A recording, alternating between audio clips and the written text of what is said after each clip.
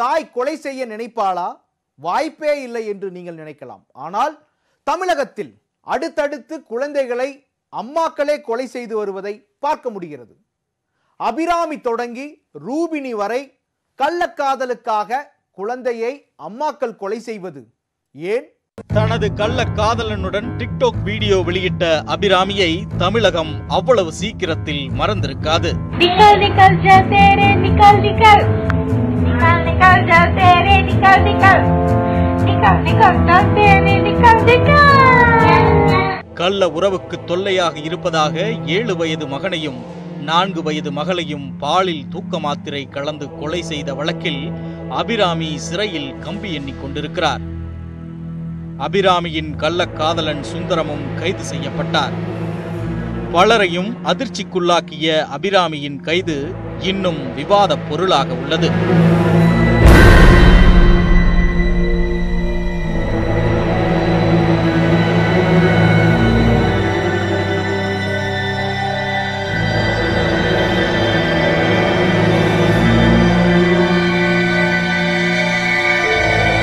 கள்ள காதல் மோகமும் கொலை வெறியும் அபிராமியோடு முடிந்து விடவில்லை தேனி மாவட்டம் போடிநாயக்கனூரைச் சேர்ந்த ஆசிரியையாக பணிபுரிந்த நித்ய கமலா மற்றொரு ஆசிரியர் முத்து பாண்டியனிடம் காதல் வசப்பட்டு குழந்தையுடன் கணவனை விட்டுவிட்டு நாமக்கல் மாவட்டம் காட்டுப்புத்தூரில் குடியேறினார்.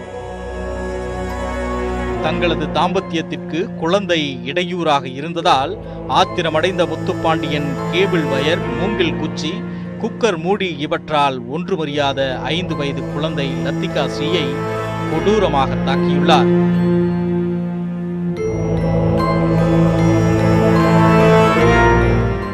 பெற்ற தாய் நித்திய கமலாவும் அவற்றை வேடிக்கை பார்த்துவிட்டு அதைவிட கொடூரமாக உச்சி வெயிலில் நிற்க வைத்துள்ளார்.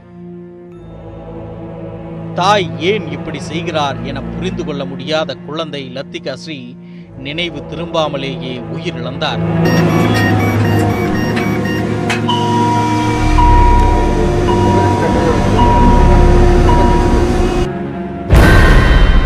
கணவனை கைவிட்ட புவனேஸ்வரி தனது மூன்றரை வயது ஆண் குழந்தை கிஷோருடன் கள்ளக்காதலன் கார்த்திகேயன் என்பவருடன் அம்பத்தூரில் வசித்து வந்தார்.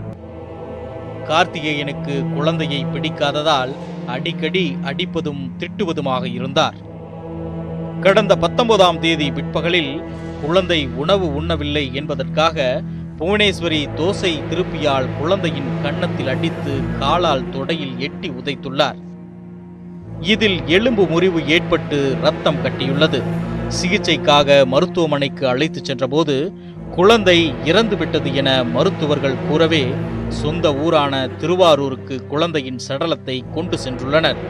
இதற்குள் புவனேஸ்வரியின் தாய் போலீசில் புகார் அளித்ததால் சுடுகாட்டிற்குள் நுழையும் தருணத்தில் இருவரையும் போலீசார் கைது செய்தனர். இரக்கமற்று குழந்தைகளை கொன்ற அம்மாக்களின் வரிசையில் இப்போது கோவையைச் சேர்ந்த ரூபினியின் பெயரும் சேர்ந்துள்ளது. கள்ளக்காதலனுடனான உல்லாசத்திற்கு இடையூறாக இருந்த குழந்தையை இருவரும் கொலை செய்த கொடூரம் அரங்கேறியது எப்படி?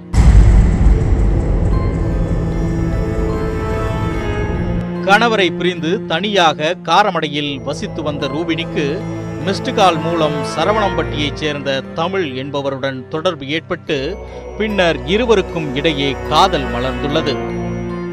கடந்த இருபத்தி ஆறாம் தேதி காரமடையிலிருந்து ரூபினியை சரவணம்பட்டிக்கு அழைத்துச் சென்ற தமிழ் வாடகைக்கு வீடு தேடியுள்ளனர். வீடு கிடைக்காததால் கரட்டுமேடு அரசு பள்ளி வளாகத்தில் இரவு உல்லாசமாக இருந்துள்ளனர். இரவில் குழந்தை அழுது கொண்டே இருந்ததால் விஷம் கலந்த பிஸ்கட்டை பாலில் நனைத்து கொடுத்து குழந்தையை தீர்த்து கட்டியுள்ளனர். உயிரிழந்த குழந்தை தேவிஸ்ரீயின் உடலை பள்ளி அருகிலுள்ள முட்புதரில் போட்டுவிட்டு தமிழ் தலைமறைவாகியுள்ளார். காலை ஏழு மணி அளவில் குழந்தையின் சடலத்தை பார்த்த பொதுமக்கள் போலீசாருக்கு தகவல் கொடுத்துள்ளனர். போலீசாரிடம் சிக்கிக்கொள்ளக்கூடாது என்பதால் தனது குழந்தையை காணவில்லை என்றும் கணவர் அழைத்துச் சென்றதாகவும் ரூபினி நாடகமாடியுள்ளார். விசாரணையின் இறுதியில் தமிழ் தனது கள்ளக்காதலன் என்பதும் இருவரும் சேர்ந்து குழந்தையை கொலை செய்ததையும் ரூபினி ஒப்புக்கொண்டார். இதனையடுத்து ரூபினியை கைது செய்த சரவணம்பட்டி போலீசார் தலைமறைவாக உள்ள தமிழை தேடி வருகின்றனர். தமிழகத்திற்கு கள்ளக்காதல் தொடர்பான வழக்குகள் புதிதில்லை என்றாலும் அதிகரிக்க என்ன காரணம்? பெண்களின் பொருளாதார சுதந்திரம் அது சார்ந்த செல்போன் பயன்பாடு போன்ற தொழில்நுட்ப வசதிகள் ஆகியவை பெண்களின் பொது தொடர்புகளை விரிவாக்கியுள்ளன.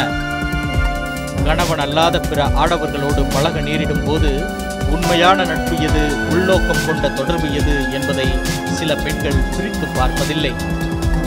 விழுத்ததெல்லாம் பால் என நினைத்து தன்னை பாராட்டினால் இனிமையாக பேசினால் அந்த ஆடவரை நம்பிவிடும் அறியாமையே மோசமான பின் விளைவுகளை உருவாக்குகிறது. வாழ்க்கையை மாற்றியமைத்துக் கொள்ள சட்ட ரீதியிலான உரிமை உள்ள நிலையில் அதன் பின் விளைவுகளையும் சம்பந்தப்பட்டவர்கள் தீர ஆலோசித்து முடிவெடுக்க வேண்டும். உணர்ச்சி வசப்பட்டு காதலனுக்காக குழந்தைகளையும் தியாகம் செய்ய தயார் என தன்னை தானே ஏமாற்றிக் கொண்டு படுகுழியில் விழும் பெண்களின் எண்ணிக்கை அதிகரித்து வருவது நல்ல அறிகுறியல்ல.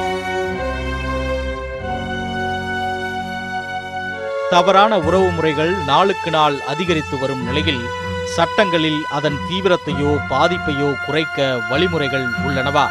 இப்போ குடும்பம் என்ற அமைப்பே தேவையில்லைன்னு சொல்லிட்டு ஒரு குழு கோஷம் போடுகிறது.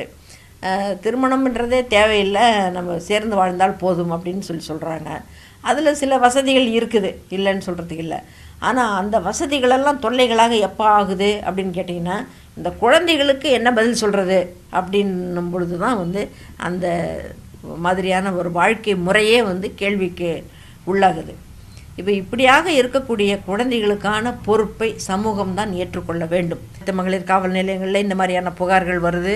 அந்த புகார்கள் வந்த உடனே அங்கே இருக்கக்கூடிய காவல் நிலைய அதிகாரிகள் வந்து சம்மந்தப்பட்டவங்களை கூப்பிட்டு வச்சு பேசுகிறாங்க கவுன்சிலர்ஸ்கிட்ட அவங்கள கன்சல்டேஷனுக்கு அனுப்புகிறாங்க ஸோ அப்படியெல்லாம் பேசி எப்படியோ ஒரு மாதிரியாக அந்த விஷயத்தை வந்து செட்டில் பண்ணி விடுறதுக்கு தான் பார்க்குறாங்க அதுக்கு முக்கியமான காரணம் என்னன்னு கேட்டிங்கன்னா நீங்கள் சொன்ன அந்த குழந்தைகள் தான். தனது வாழ்க்கையை தேர்ந்தெடுப்போர் இடையூறாக இருப்பதாக கருதும் குழந்தைகளை கொலை செய்வதை விட்டுவிட்டு தொட்டில் குழந்தைகள் திட்டம் போன்றவற்றை பயன்படுத்த வாய்ப்புள்ளது. அந்த குழந்தைய வந்து ஒரு தத்து கொடுத்துருக்கலாம்.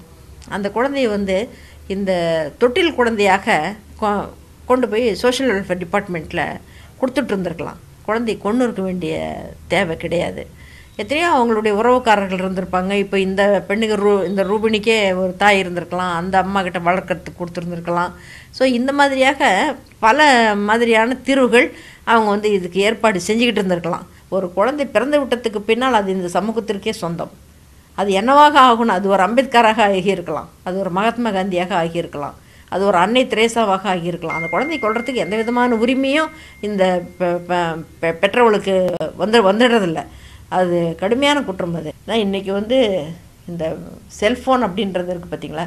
இந்த செல்ஃபோன் வந்து பெண்களுடைய வாழ்க்கையை மனிதர்களுடைய வாழ்க்கையை அதனுடைய எல்லைகளை மிகவும் அதிகமாக விஸ்தரித்து விட்டது. அந்த விஸ்தரிப்பில் வந்து அபாயங்களும் இருக்குது. அப்படி அதில் நிறைய நம்மளை தாட்டி விழக்கூடிய பள்ளங்களும் அதிகமாக இருக்குது. அப்படிங்கிறத அந்த செல்ஃபோனை உபயோகிக்கக்கூடிய ஒவ்வொருவரும் மனசில் வச்சுக்கிட்டு தான் அது எந்த நிமிஷமும் நம்மளை ப படுகொலியில் இழுத்து தள்ளிடும். அப்படின்ற ஒரு எண்ணத்தோடையும் அந்த ஜாக்கிரதை உணர்வோடையும் தான் வந்து அந்த செல்ஃபோன் தகவல்களை பார்க்கணும். அதை அதோட பயன் பயன்படுத்தணும் அதை.